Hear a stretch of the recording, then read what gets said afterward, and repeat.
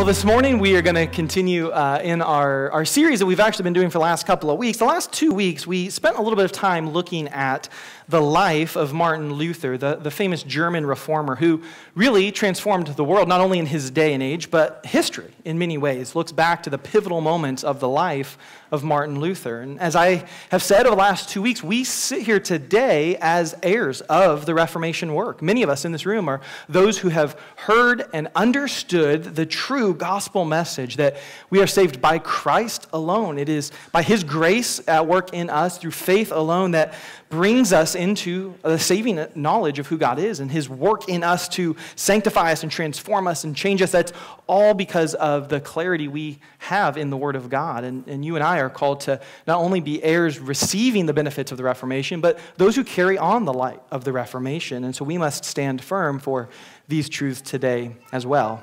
Well, this morning, what I want us to do is to take a little bit more look at Luther's story. We've spent two weeks kind of really just at certain key moments of his story, and we're going to look at his story past 1517, the posting of the 95 Theses on the Castle Church door in Wittenberg, Germany, we talked about last week, and, and even past 1518, where we talked about his uh, document, the Heidelberg Disputation, and some of the things that came out of that, as we, again, talked about last week. We're going to move forward to the next couple years of Luther's life, but I do want to end with the very uh, one of the statements, a very powerful statement that was given in the 28th thesis of this Heidelberg Disputation in 1518, that was stated by Luther when he said, The love of God does not find, but creates that which is pleasing to it.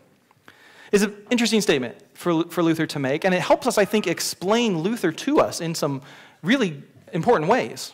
See, Luther was, as I said last week, not a perfect man by any means. He was, he was rough, he was earthy. Uh, it's why the common folk related so well to him.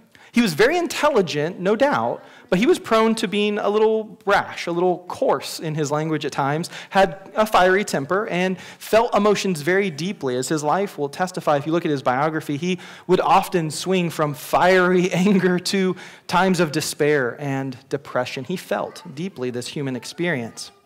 Looking back historically, uh, many scholars would agree and admit of all the reformers that kind of came before Luther and those who came after Luther, he wasn't uh, the only reformer that we have had in church history, but of all that kind of came, Luther really, in some ways, is the most unlikely candidate of, of all. There were others who seemed more naturally suited, better fit for this calling of being the chief catalyst of the Reformation that God chose to use Luther for. But at the end of the day, it was Luther that was used. And I think this truth, as Luther even articulates it here, it helps us see this biblical reality well.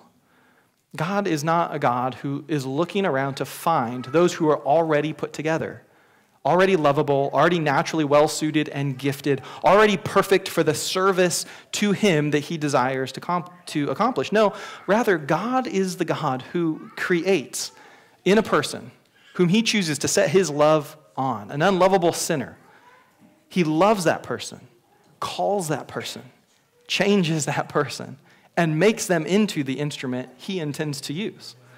What great news for all of us that is. For we're all sinners. We are all undeserving. We are all unqualified. We are all ill equipped to do this great mission that God has put before us. And yet, it is God who sets his love upon us, who chooses us, who changes us, who equips us, and then who uses us to accomplish his great plans.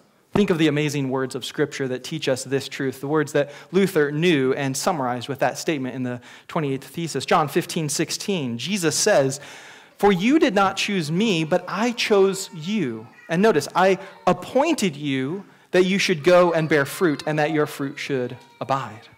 Ephesians 1 3 and 4 says, Blessed be the God and Father of our Lord Jesus Christ, who has blessed us in Christ with every spiritual blessing in the heavenly places, even as he chose us in him before the foundation of the world, that we should be holy and blameless before him. Or the most succinct statement, the powerful words in 1 John chapter 4 verse 19. We love because he first loved us. See, Luther was not just naturally the great reformer destined to change the world. Luther was a regular man. But he was a man that was chosen by God, loved by God, and then changed by God over a, a, quite a period, really, of time and deep study of the Word of God. And he was used as a tool in the hand of the God whose purposes never fail and whose work are always good and righteous. So, over the course of years, Luther grew to develop, as we've talked about in the last two weeks. And we're going to look at a few years worth of Luther's life. The pace of life was a lot different before the technology that we have today, where you can call, text, tweet anyone, anytime. Things took a little longer to, to come to pass in history. And so, we're going to look at events that took place briefly in the year 1519, a whole year, and then 1520, and finally into 1521. Over the course of 1519 and 1520, things continued to develop in Luther as he was reading the Word of God, beginning to really think critically about the things that he was experiencing around him. And it came clear to Luther and to others who were being impacted by his teaching the need for reformation was deep. It, went well beyond just the 95 Theses on the issue of indulgence. It was much bigger than that. And Luther began to see that more clearly as time went on. So in 1519, Luther engages in a, in a rather important debate in the town of Leipzig. In this debate, Luther publicly and boldly began to insist that Jesus Christ is the only true head of the church, not the Pope. He also claimed that Scripture alone holds ultimate authority, not the Pope, not church councils. These were big claims in his day. By 1520, Luther had continued to develop his thoughts and produced three masterful works that were published.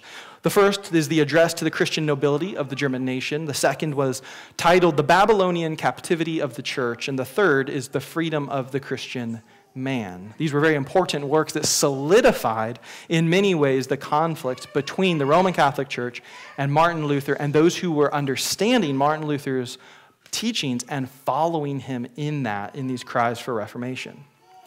Well, the papacy, the Roman Catholic Church, did not like what Luther was teaching. The conflict had started with those 95 Theses and then developed through the Heidelberg Disputation, through Augsburg, through Leipzig, and through these published books. Things were getting more and more clear. Conflict was abounding. So the papacy responds to Martin Luther with an official edict, what is called a papal bull, referring to the bull in the Latin refers to the seal that was placed on an important document. And the name of the papal bull in, is titled by the first few words of it. In English, it would be Arise, O Lord, but in Latin, it's Exsurge Domine. This was the papal bull which was issued by the Pope that called Luther to recant. Renounce everything you have said Claim publicly that you will turn from it, you will no longer teach it, denounce it. And if you do not, you will be excommunicated from the Roman Catholic Church. October 10th, 1520, Luther's personally handed a copy of the document there in Wittenberg. He reads the document and reads the Pope's decree. In 60 days, you must recant of your teaching, or you will be called, condemned as a heretic and an outlaw.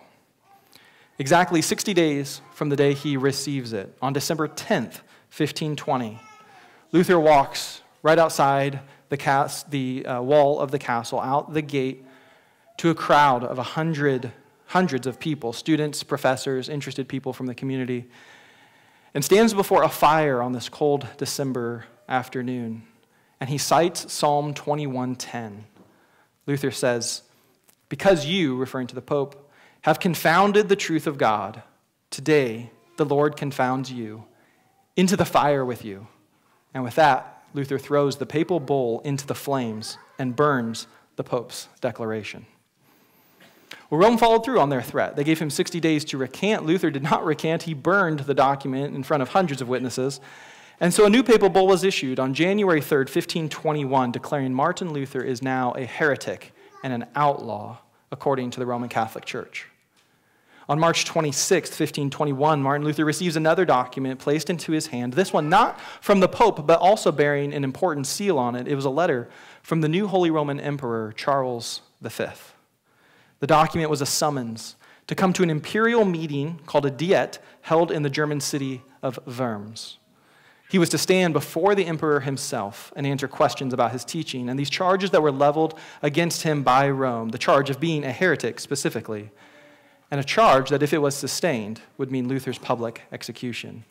It is the diet of worms, not the diet of worms. I had a kind of an aside here. When I uh, was at my previous church in Springfield, I had a, a, a man and his wife who were German. They were born in Germany, had, had uh, immigrated to the US. And when I would teach on Luther, he would always come up to me and thank me for my proper pronunciation of these towns. He says, It's just awful when people think of us having these German things in the past and they think of a diet of worms, like we're eating those little crawly things. He said, No, no, it's a, it's a diet, which comes from Latin, but it's verms, verms. It's a V sound with the W. So he was always grateful for that proper pronunciation and hopefully will not confuse you when you see this written. Luther is summoned to the Diet. He's going to stand before the emperor. He's going to be made to give an account for these charges leveled against him. And it's at this point, after the summons, Luther writes a private letter to a friend and explains to him that he will indeed go. He will explain his teaching before the emperor and all who would listen to him, but he knew very well that this could be a trap and would likely be a death sentence for him. So, with full knowledge of what it could cost him, Luther wrote these words, which will take us to the text of Scripture in Daniel 3 that we're going to consider today. Luther wrote to his friend, For he who saved the three men in the furnace of the Babylon king still lives and rules. If he does not want to preserve me, then my head is of no importance compared with Christ. But we must take care that we do not expose the gospel to the derision of the godless because we are afraid to shed our blood for it. May the merciful Christ prevent such cowardice on our part. Amen. As I said two weeks ago, Luther was a man who was made by God's grace at work in his life to become unashamedly bold when he understood the gospel message from Romans chapter 1, 16 and 17, that it is by faith alone, God's grace alone at work in us, not a result of what we do or our own worthiness, when he understood it's all of God's grace and our response is to be simply faith and trust, obedience to him, then Luther moved from the, the darkness that he was held captive in to the light of true Christianity. And when Luther did that, he became prepared to proclaim, to suffer, even to die for the sake of the truth of the gospel. In fact, he became convinced that to be willing to do anything less would be cowardice and sinfulness. Luther understood he had been chosen, he had been loved, he had been called by God to be a servant of God, used however God wanted to use him. And Luther would not sin against his Lord by refusing to play his part. So Luther looked to the text of Scripture to draw encouragement, to speak to the day that he was in, as we should do today. And it's this text in Daniel 3 that I think, as we consider it today, will also speak to us words that would embolden us and encourage us, as it did Luther as he headed to the Diet of Worms. We'll pick up the story in Daniel chapter 3, verse 8. Daniel chapter 3, verse 8. A story you're probably familiar with. Now, therefore, at a certain time, certain Chaldeans came forward and maliciously accused the Jews. They declared to King Nebuchadnezzar, O king, live forever.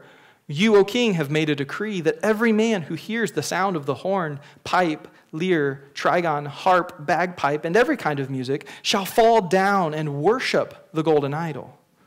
Whoever does not fall down and worship shall be cast into a burning, fiery furnace. There are certain Jews whom you have appointed over the affairs of the providence of Babylon Shadrach, Meshach, and Abednego. These men, O king, pay no attention to you. They do not serve your gods or worship the golden image that you have set up. Now, we're, we're kind of jumping into the, the conflict here a little bit, right? But you probably know the story. It's often taught in Sunday school lessons and children's Bibles. If you grew up in, in church or a Christian home, right, you know that VeggieTales did an episode on this very story, but replaced a few key details, right? It wasn't the golden image, it was the what? Oh, no VeggieTales fans. So disappointed. The giant chocolate bunny? The bunny song? Wow, okay.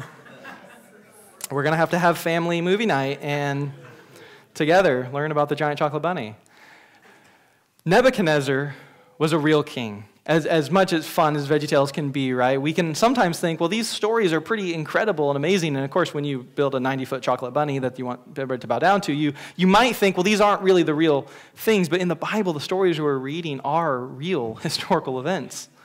Nebuchadnezzar was a real king over the nation of Babylon, he was a brutal dictator and a warrior king. When Nebuchadnezzar and his armies conquered Jerusalem, they took many people captive into slavery and service, including, it's the beginning of Daniel, tells us the history of this. They took a man named Daniel and three other young men who we now know as Shadrach, Meshach, and Abednego and put them in his palace, and, and it was to them they were to be trained and serve the king there in Babylon. And Nebuchadnezzar was like most of the pagans of his day. He believed there were multiple gods. So the Israelites who he had conquered, they believed in their God. And he said, fine, you know, you can have your God, but you need to worship my gods as well. And kind of they just put them all together in one big pot. And they were fine if you wanted to worship your God and these people wanted to worship their God, as long as you didn't claim your God was the only God or better than someone else's God. Those were issues they wouldn't tolerate. But Nebuchadnezzar had no problem for them to incorporate their own God as long as they would worship him and his own God. See, Nebuchadnezzar, like so many other rulers who gained such power to themselves, he, he began to think that he himself deserved worship. And he certainly, as the great king of Babylon, deserved full obedience. His command should be obeyed without question. And he was powerful and very successful. The golden image that Nebuchadnezzar made was certainly impressive. If you read back up in the first few bits of, of Daniel there before this, you learn this golden image was about 90 feet tall and 9 feet wide, covered in gold. I mean, it was impressive, a massive symbol of the might of Nebuchadnezzar's kingdom, his wealth, and his power to make such a thing. And Nebuchadnezzar, after having it made, wasn't content to just say, ah, it's a nice piece of art, you know, I'll kind of put it over here in my palace, I'll enjoy it. He wanted everyone to bow to it. And when the music played, everyone was to pay homage to the image. It was a moment of, much like it would be to pledge loyalty to a nation. By bowing down to this image that Nebuchadnezzar had erected, you were swearing obedience and service to Nebuchadnezzar. And so, if you refused to do that, the punishment, as he made clear in the decrees, would be the same punishment one would suffer for treason immediate execution for disobeying the command.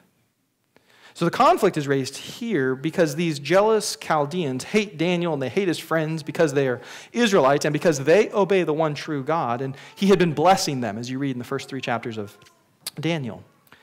So they hate them. They're looking for any reason they can to destroy them, to remove them from their positions. And we read in Daniel 3, verse 13, what happens. After being told this, Nebuchadnezzar, in furious rage, commanded that Shadrach, Meshach, and Abednego be brought. So they brought these men before the king. Nebuchadnezzar answered and said to them, Is it true, O Shadrach, Meshach, and Abednego, that you do not serve my gods or worship the golden image that I have set up? Now, if you are ready, when you hear the sound of the horn, pipe, lyre, trigon, harp, bagpipe, and every kind of music, to fall down and worship the image I have made, well and good. But if you do not worship, you shall immediately be cast into the burning fiery furnace. And who is the God who will deliver you out of my hands? Now, Nebuchadnezzar was certainly powerful. He was not used to being disobeyed. In fact, people who disobeyed him usually ended up dying very painful deaths. Nebuchadnezzar acted as if he was a god to his people. He controlled their lives, he demanded full obedience from them, and he would end the life of anyone he so chose. And these three men are being brought before him. They are, remember, slaves of a nation that Nebuchadnezzar has conquered. They were taken from their homes, brought to his palace to have their entire lives be one of service to him. And now he's being told they would defy his royal will? of course, it made him furious. And Nebuchadnezzar was actually so arrogant that he said the out loud part that was probably supposed to meant to be more inside, right? I think many evil rulers, evil people who gain power think thoughts like this, but stop short of saying it. But Nebuchadnezzar simply says out loud, Who is the God who will deliver you out of my hands? I know you worship your God, but no, in this moment, this place, I control everything. He believed his power was ultimate. Now, jumping back just to Luther for a moment, Luther knew this text very well. He had preached and taught through Daniel he understood how dangerous of a task it was for these Israelites to stand before a king like Nebuchadnezzar. He knew the evil of this ruler historically. And Luther found an interesting parallel to his own day and age, didn't he? He too was being called to stand before the most powerful ruler in all of the world in just a few short days. Luther knew he was going before a man who could and did have people who defied his orders put to death, just as Nebuchadnezzar did. The powers that Luther was standing against were real and powerful. Charles V and Leo X were powerful people. They were real and they were very dangerous to Luther. And yet, the arrogant question that Nebuchadnezzar asked in the text was what Luther had in mind as he thought through who is the God who could deliver them, who is the God who could deliver me. And so the very next words were words of beautiful encouragement to Luther. Look at verses 16 to 18. Shadrach, Meshach, and Abednego answered and said to the king, O Nebuchadnezzar, we have no need to answer you in this matter. If this be so, our God, whom we serve, is able to deliver us from the burning fiery furnace. And he will deliver us out of your hand, O king. but even if not, be it known to you, O king, we will not serve your gods or worship the golden image that you have set up. For so many Christians all throughout history, all around the world, this reply has been one of great encouragement and guidance to us. The boldness of a person who truly believes that the God he serves is true and all powerful and is to be obeyed, that his word, his command is above all else, is an amazingly transformative belief. This response that's given here to the face of someone who really could take your life is not false bravado. Right? This isn't like just I'm going to post on social media or talk a big game with my friends. The, the stand that many people will take today has no personal cost. And it's based on personal feelings or preferences. But these men, no, they were courageous for the truth. They were convictional.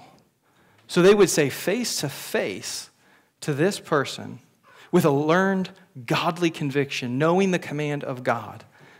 We know what our God has said, and we will not sin against him by disobeying his word. They said, in effect, we believe our God is far more powerful than you are. We believe he can and he will deliver us from you. But even if he doesn't decide to do that, we will not sin against him. These three Israelite men knew their God and who he was in a way that was deeply and really impactful to their lives. They weren't playing at following God. They didn't think that their religion was just a nice add on to, to, their lives. They weren't content with comfort. They weren't willing to compromise on holiness. Obedience to God was not something they would give up in order to make lives easier for themselves.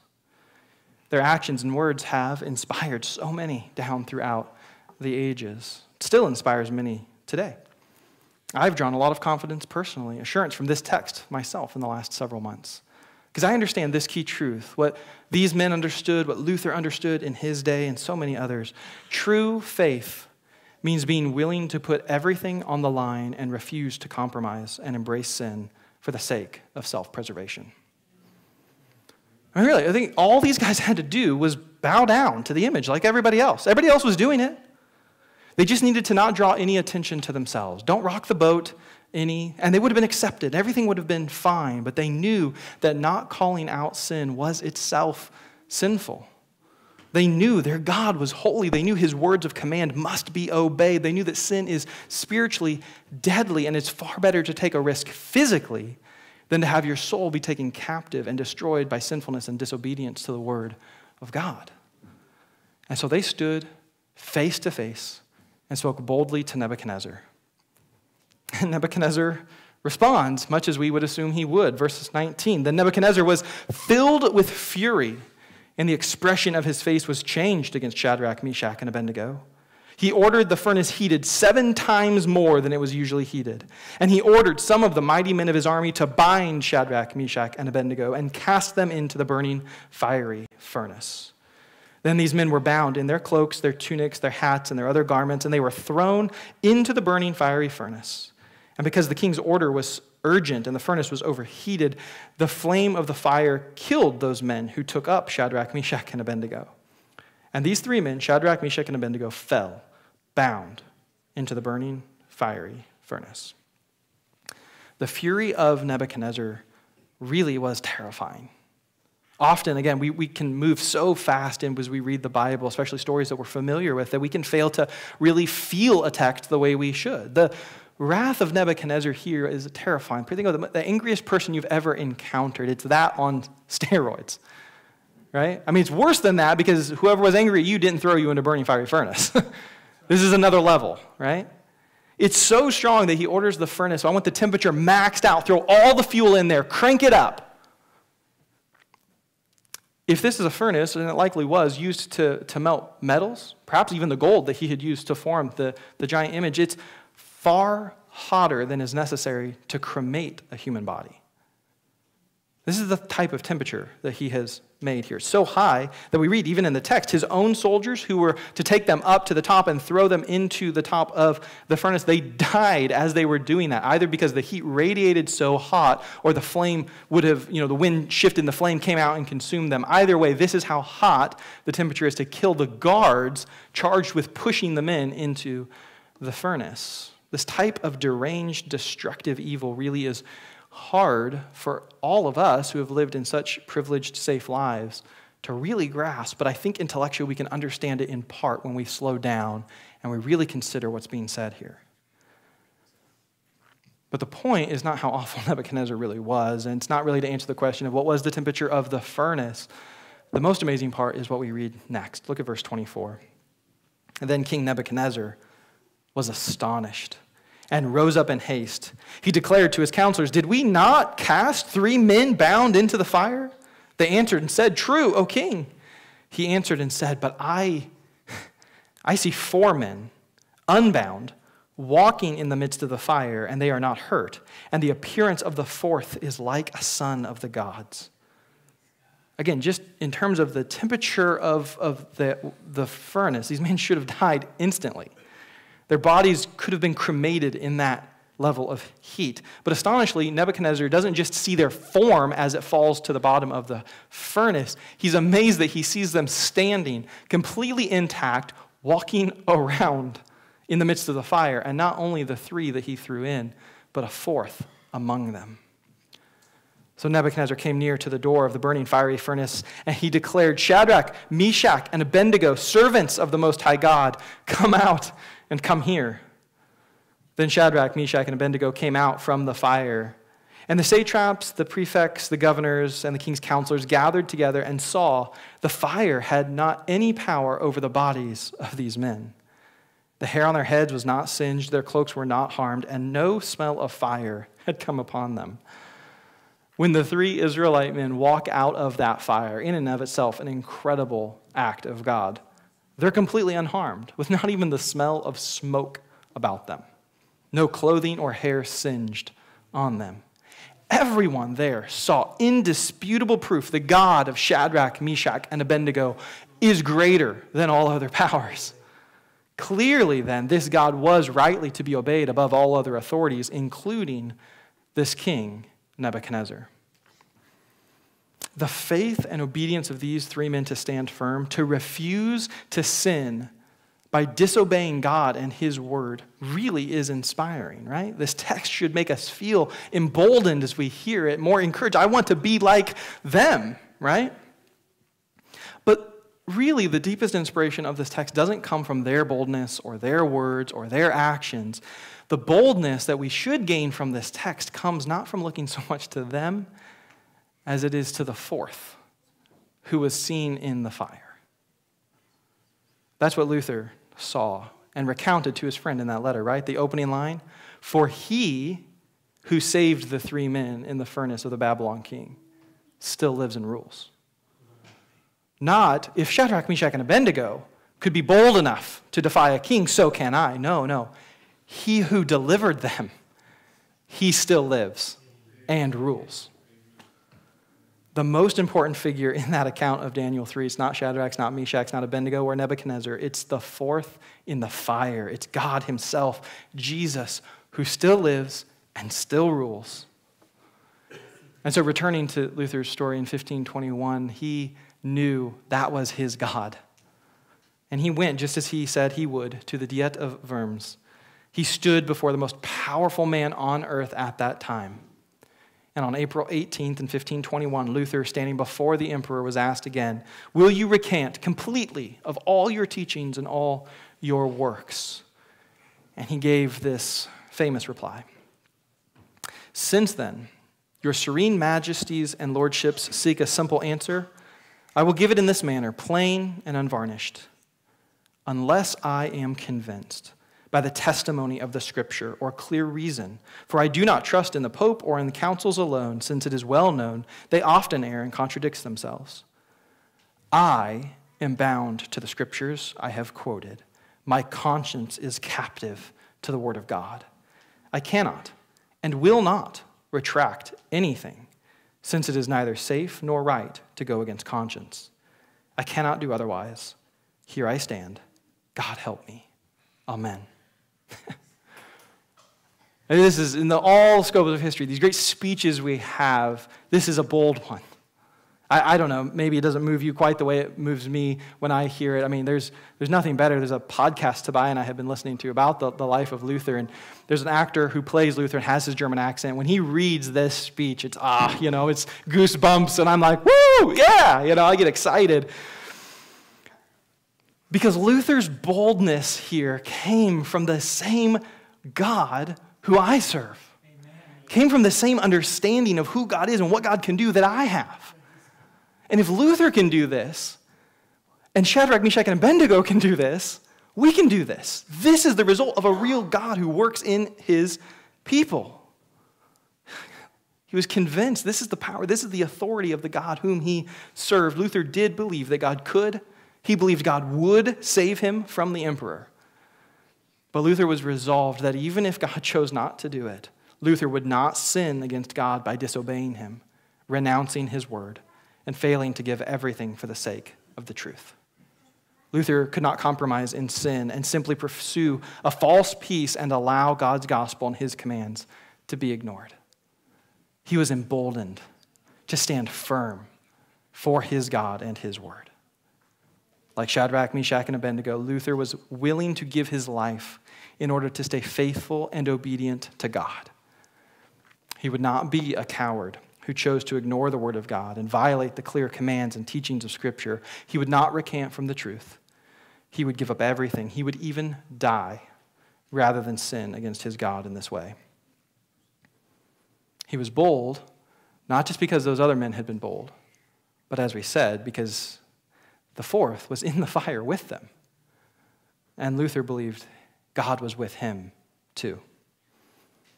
He trusted that God can deliver. He trusted that God would deliver, but he knew that even if he did not, Christians, all Christians, must stand firm on the truth that God alone is to be worshiped, trusted, and obeyed, no matter what.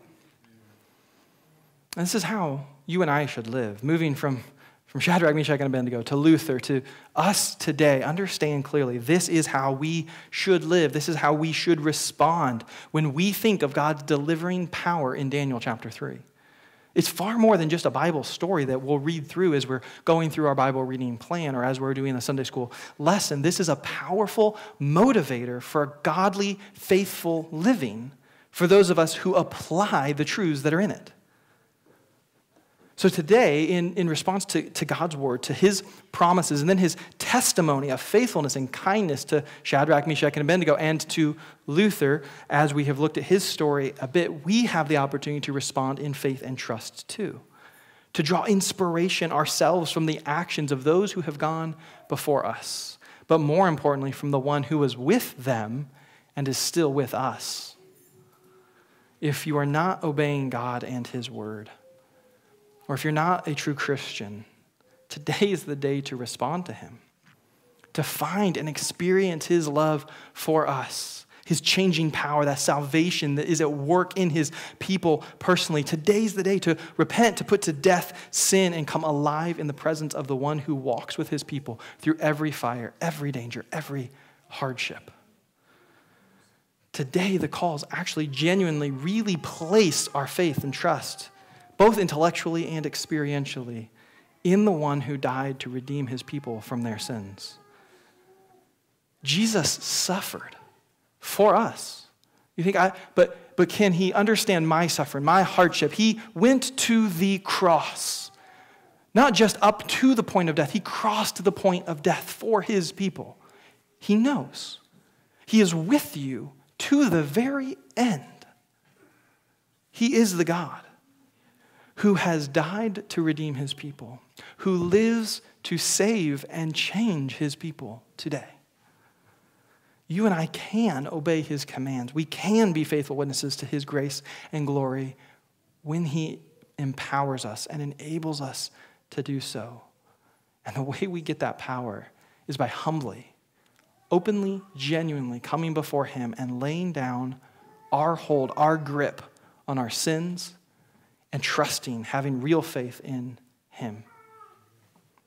So, this morning we're going to play some music through the system the way we did a, a few weeks ago, and we're just going to leave space and time for response and prayer as much as is needed today.